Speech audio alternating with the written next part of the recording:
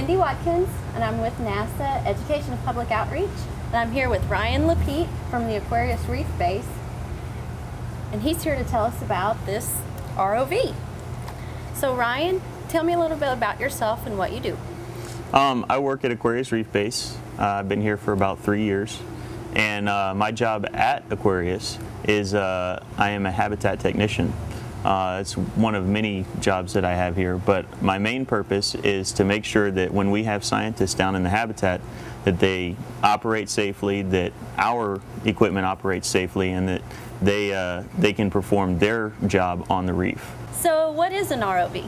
ROV stands for Remotely Operated Vehicle. Um, it's used in any instance where you need to separate the human element from the situation. Say the water is polluted mm -hmm. or um, it's just too dangerous for someone to get in. What are the basic parts of an ROV? The basic parts, uh, well, you have your lights up front, um, which aid in your camera being able to see, especially you know in deeper water it gets real dark real fast. Mm -hmm. um, uh, there's also a camera on the back in on this ROV uh, you also have, every ROV has thrusters in order to move. Um, so this one's got one on each side as well as a vertical thruster that allows it to move up and down in the water column.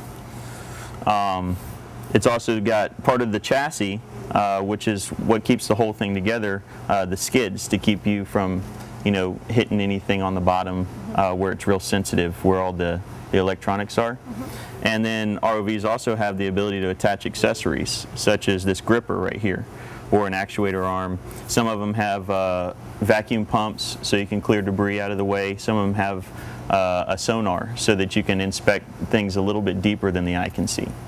What do you guys use this one for at the Aquarius Reef Base? We use an ROV uh, mainly for our education outreach activities. Um, ours sends a live feed uh, to whoever we you know, whoever we want to get in touch with. Mm -hmm. We have a computer uh, that all of the controls run through, and it's hooked up to the internet, and we provide a uh, software-based uh, control that people can drive it around our reef from anywhere in the world.